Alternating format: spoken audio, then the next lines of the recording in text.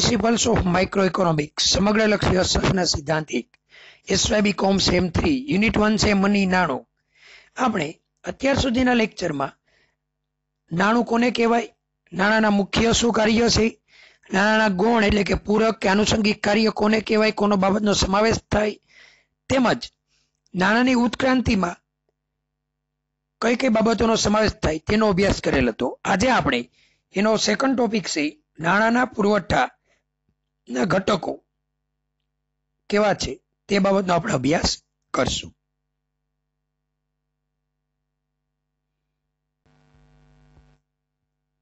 નાણાંના પુરવઠાના અંગભૂત ઘટકો. ઘણીવાર એમ પણ પૂછે કે ભારતમાં નાણાંના પુરવઠાના અંગભૂત ઘટકોની સમજૂતી આપો. એના માટે મેં એડિંગી રીતે લખેલ છે આપણે.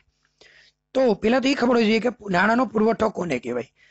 તો વ્યવસ્થિત આ તમને પ્રશ્ન બનાવેલ છે. તમારી બુકમાં નોટ ડાઉન કરી લેજો કે જેથી કરીને પરીક્ષા આવે તો તમારે પ્રોબ્લેમ રહીએ નહીં. તો પ્રસ્તાવના જોઈએ. સામાન્ય શબ્દોમાં પુરવઠો એટલે જથ્થો.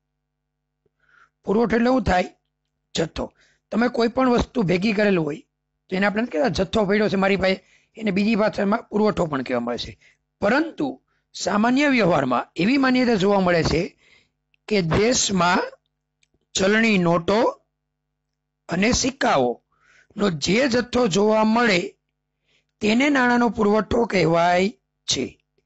પરંતુ અર્થશાસ્ત્રમાં આ પ્રકારની માન્યતા સ્વીકારવામાં આવતી નથી, કારણ કે નાણાંના પુરવઠામાં ચલણી નોટો, સિક્કા,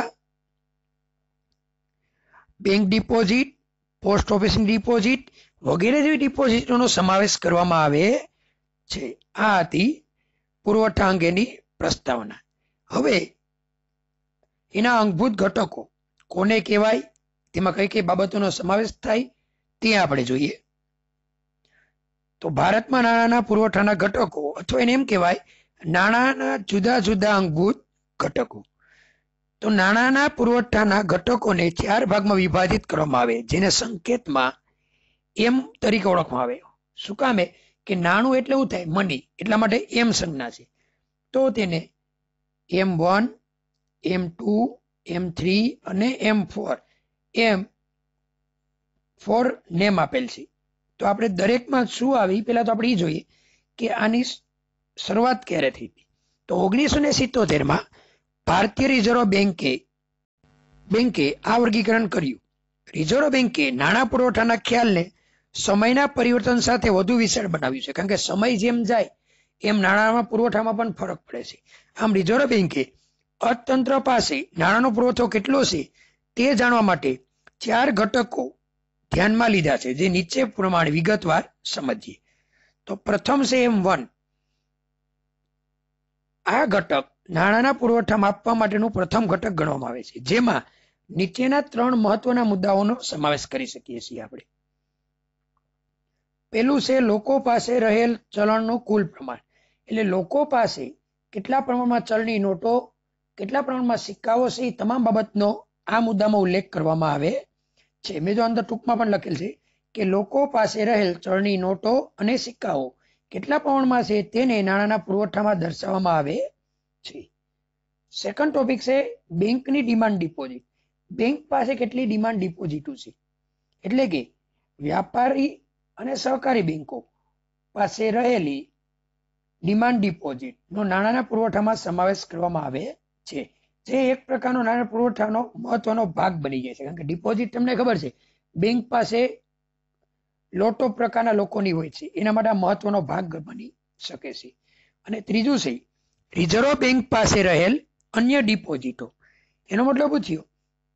કે રિઝર્વ બેંક પાસે રહેલી તેમજ વિશ્વ બેંક, આંતરરાષ્ટ્રીય નાણાં ભંડોળ અને બેંકોની અન્ય નાણાકીય સંસ્થાઓની ચાલુ ડિપોઝિટ. એનો મતલબ થયો? વિશ્વ બેંક, આંતરરાષ્ટ્રીય નાણાં ભંડોળ અને ઈ બેંકો સિવાયની જે અન્ય નાણાકીય સંસ્થાથી રોકાણ કરે રિઝર્વ બેંકમાં.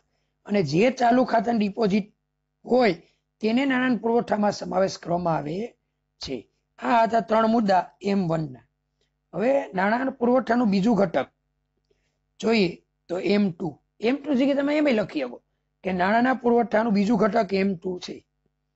તો એમ ટુમાં એમ વન ઉપરાંત પોસ્ટ ઓફિસ પાસે રહેલી બચત ખાતાની થાપણો, જેને કહેવાય સેવિંગ ડિપોઝિટ, નો સમાવેશ પણ કરવામાં આવે છે. એનો મતલબ થયો? એમ વનમાં આવેલી તમામ બાબતો. લોકો પાસે રહેલ થાપણ બેંકની ડિમાન્ડ ડિપોઝિટ, રિઝર્વ બેંકની ડિપોઝિટ, આ તમામ બાબતોનો ઉપરાંત બચતની થાપણો નો સમાવેશ એમ ટુમાં કરવામાં આવે છે. એમ થ્રી એમ થ્રી નાણાંના પુરવઠાનું ત્રીજું ઘટક ગણવામાં આવે છે, જેમાં એમ ટુ ઉપરાંત, એનો મતલબ એમ કે એમ ટુ પૂરતી નહીં, એમ બનાવી એ પણ બાબતો સહિત વ્યાપારી બેંકો અને સહકારી બેંકો પાસે રહેલી ટાઈમ ડિપોઝિટ, જેને આપણે કહીએ છીએ મુદતી થાપણો અથવા તો સમય થાપણો નો સમાવેશ કરવામાં આવે છે. અને ચોથો મુદ્દો છે એમ ફોર. એમાં એમ ફોર ને નાણાંના પુરવઠાનું ચોથું ઘટક અથવા તો એમ કહીએ ગો છેલ્લું ઘટક ગણવામાં આવે છે. જેમાં એમ થ્રી ઉપરાંત પોસ્ટ ઓફિસ પાસે રહેલી થાપણો એટલે કે કુલ થાપણો. જોડે પેલામાં તો હોય વિધિ બચત થાપણો. પણ અહીંયા હોય પોસ્ટ ઓફિસની કુલ થાપણોનો સમાવેશ કરવામાં આવે છે. આ હતા નાણાંના પુરવઠાના મુખ્ય ચાર ઘટકો. ટૂંકમાં કહીએ તો, નાણાંનો કુલ પુરવઠો બરાબર M one plus M two plus M three plus M four કહી શકાય.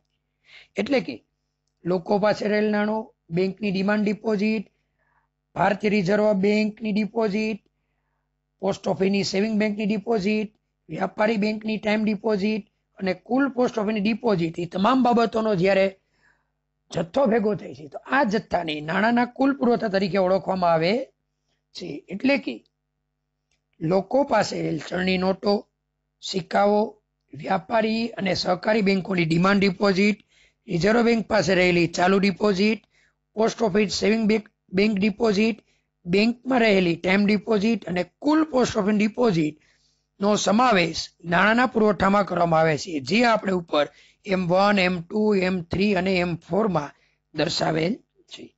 પરીક્ષામાં માત્ર તમને એમ પૂછે કે નાણાંના પુરવઠાના અંગભૂત ઘટકો સમજાવો, તો અહીંયા લગી તમારે લખવું પડે. દસ માર્કમાં હોય તો. અને જો વીસ માર્કમાં પ્રશ્ન હોય, તેનું સાપેક્ષ મહત્વ પણ ઘણીવાર પૂછાય છે. હવે આપણે નાણાંના પુરવઠા અંગેનું બદલાતું જતું સાપેક્ષ મહત્વ નો અભ્યાસ કરીએ. નાણાંના પુરવઠાનું ઘટકોનું બદલાતું થતું સાપેક્ષ મહત્વ. નાણાંનો પુરવઠો નક્કી કરતી વખતે દરેક અંગભૂત ઘટકોનું મહત્વ સમયના પરિવર્તન સાથે બદલાતું પણ જોવા મળે છે.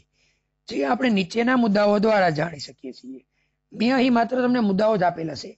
કારણ કે આ મુદ્દાની અંદર ઉપરથી તમે માહિતી લખેલ છે એ જ તમે લખી શકો. અને જો તમને લખતા ન ફાવે, તો મને કહેજો, તો હું તમને ડિટેલમાં માહિતી મોકલી આપીશ. પેલો મુદ્દો છે આર્થિક આયોજનના પ્રારંભિક તબક્કામાં. તમને ખબર છે, દેશના આર્થિક આયોજનના પ્રારંભિક તબક્કામાં બેંકનો વિકાસ વધુ વિકસિત નહોતો થયો. એટલે કે જ્યારે પણ કોઈ સોદાઓની પતાવત થતી હતી, ત્યારે રોકડ નાણાંનો જ ઉપયોગ થતો હતો. વિશેષ પ્રમાણમાં પણ બેંક નાણાં, બેંકનો કોઈ ઉપયોગ માહિતી મેળવવામાં આવતી નહોતું. પરિણામે એમ નું મહત્વ ખૂબ જ પ્રમાણમાં જોવા મળતું હતું. એમ નું સાપેક્ષ મહત્વ ખૂબ જ ઓછા પ્રમાણમાં હતું. આ તબક્કામાં તમે એમ કહી શકો. જેમ જેમ વિકાસ થતો ગયો, એમ બીજો મુદ્દો વિકસિત દેશો સાથે તુલના કરવામાં આવી. ભારતની વિકસિત દેશો તુલના કરવામાં આવે ત્યારે સાપેક્ષમાં તો ખૂબ ઓછા પ્રમાણમાં ફેરફાર ભારતમાં જોવા મળી હતો. કારણ કે આજે પણ એમ વન દ્વારા જ લોકોની પતાવત સિત્તેર ટકા જેવી થતી હોય છે. જ્યારે એમ ટુ દ્વારા માત્ર ત્રીસ ટકા જ થતી હોય. પરંતુ વિકસિત દેશોમાં એમ ટુ એમ થ્રી દ્વારા દરેક સોદાઓની પતાવત એસી ટકા થાય છે. જ્યારે એમ વન માત્ર એમાં વીસ ટકા જ જોવા મળે છે. એટલે વિકસિત દેશો તુલના કરે તો ભારત ઘણું જ પાછળ જોવા મળે છે. ત્રીજો મુદ્દો જોઈએ. નાણાકીય નીતિના અમલ માટે એમ થ્રીનું સાપેક્ષ મહત્વ વધારવું જરૂરી છે. જો નાણાકીય નીતિ જોવી હોય કે દેશને અસરકારક કઈ રીતે આગળ આગળ વધારવું? રિઝર્વ બેંકને સાથે કઈ રીતે એમ થ્રીનું મહત્વ ખૂબ વધારવું? આ તમામ બાબતો એમ થ્રીમાં આપણે જોવા મળે છે. જેને આપણે કહીએ વ્યાપારી બેંકો અને સહકારી બેંકોની ટાઈમ ડિપોઝિટ. એમાં ઉપરના તમામ પોઈન્ટ આવી જાય છે. એટલા માટે એમ થ્રીમાં વધારો થયો હોય તો બાકીમાં ઘટાડો થઈ શકે. આના આધારે નાણાકીય નીતિ એક મહત્વના ભાગરૂપે બની જાય છે. તેથી જો તમારે નાણાકીય નીતિ અમલમાં મૂકવી હોય તો એમ થ્રીનું મહત્વ ખૂબ ને ખૂબ વધારવું જોઈએ તેવું અર્થશાસ્ત્રીઓ કહે છે. ચોથું મહત્વ છે ચક્રવર્તી કમિટીની ભલામણ. હવે ઘણા પૂછ્યા ચક્રવર્તી શું છે.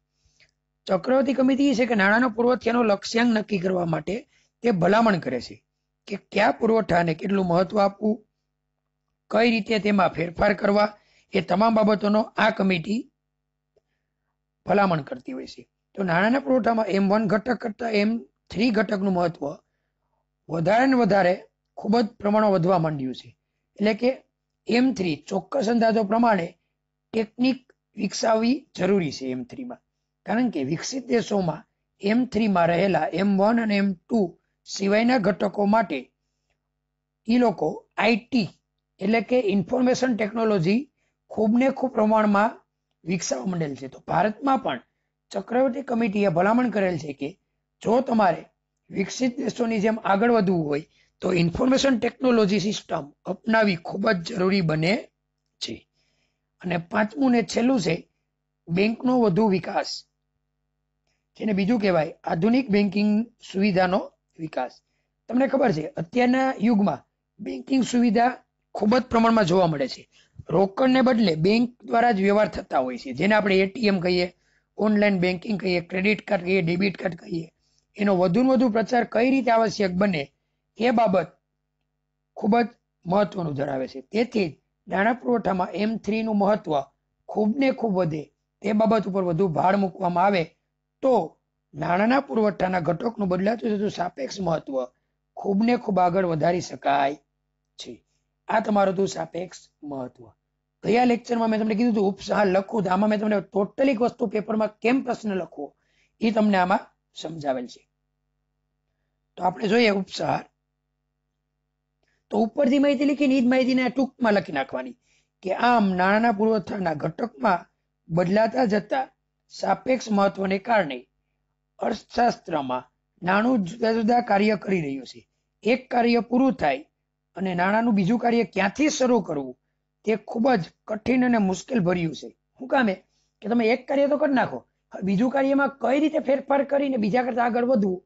એટલા માટે તે કઠિન અને મુશ્કેલ ભર્યું છે. જ્યાં સુધી નાણું વિનિમયનું કાર્ય કરે છે, ત્યાં સુધી લોકોને નાણાં પર વિશ્વાસ છે. ટૂંકમાં કહીએ તો, નાણાંના કાર્યમાં વિનિમયનું કાર્ય સૌથી મહત્વનો ભાગ ભજવે છે. નાણાંની કિંમત એટલે નાણાં દ્વારા થતી, થઈ શકતી ખરીદ શક્તિ એટલે નાણાંની કિંમત એટલે તમે જે ખરીદી કરી શકો, એ નાણાંને એવું બની જાય છે, કિંમત. તમે કોઈ વસ્તુ ખરીદો, તેની કોઈ કિંમત ફિક્સ હોય છે મોટે ભાગે. અને ઘણી વાર એમાં ફેરફાર છે, પણ એ કોણ નક્કી કરે? નાણાંની કિંમત નક્કી કરે. નાણાંની કિંમતમાં લાંબા ગાળે ફેરફાર થાય છે. અને આને આધારે અર્થતંત્ર કાર્ય કરે છે.